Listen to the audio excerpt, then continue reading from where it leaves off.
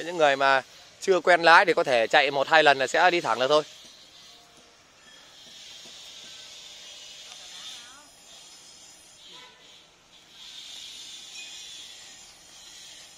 Cắt đôi nó thả cá vào.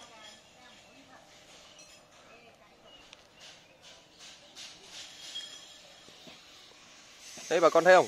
Đây nha cái nền máy sẽ tự xoa cái lốt chân nhá, dù ruộng của bà con có sần sùi thế nào, bà con cứ có thể dẫm đi thoải mái đi chỗ này này chúng ta vừa mới dẫm vào nên rất nhiều cái lốt chân. Nhưng bên này khi máy đi cấy xong ruộng rất phẳng. À thêm một thắc mắc nữa cho bà con đây là uh, ruộng nông ruộng sâu cấy được không? Thì xin thưa bà con là ruộng thụt đến mấy máy cũng cấy được. Vì là trọng lượng của máy rất là nhẹ. Trọng lượng của máy là 54 kg nó đè trên diện tích là một mét uh, khoảng tầm một mét ờ, sáu vuông. Hơn hơn một mét khoảng một mét hai vuông thôi.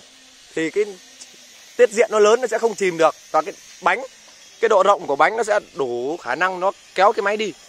Bà con cứ thoải mái ruộng nông ruộng sâu cấy được hết. Và thêm nữa thì bà con có thể thấy là đây là cái bộ phận à, bộ phận gọi là phuộc nhún này. Đây này để cháu chỉ tay này cái đầu ngay đầu ngón tay cháu này. Đấy chỗ đấy gọi là cái phuộc nhún. Thì cái phuộc nhún sẽ có tác dụng là nâng hành bánh lên hạ bánh xuống khi mà ruộng nông ruộng sâu. Hai hai phuộc hai bên phuộc độc lập với nhau nhé nên là một kể cả một bên ruộng nông một bên ruộng sâu máy lúc nào cũng cứ ăn thẳng theo mặt bùn.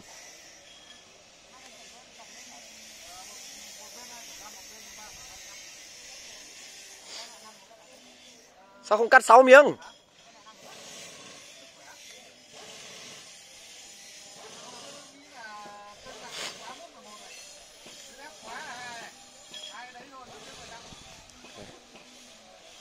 Nay mượn ờ, một công nhân rất là đẹp trai, đã trực tiếp nhảy xuống ờ, kế cho bà con xem.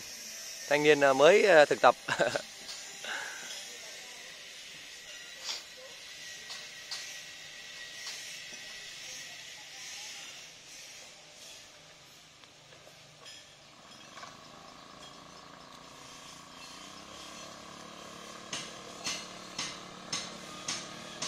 Đây bà con đi tiến đi lùi thoải mái, thích đi kiểu gì thì đi. Cứ lái cho máy nó chạy thẳng là được. Đấy, bà con thấy cái đường lúa cấy kìa, 6 đường kìa.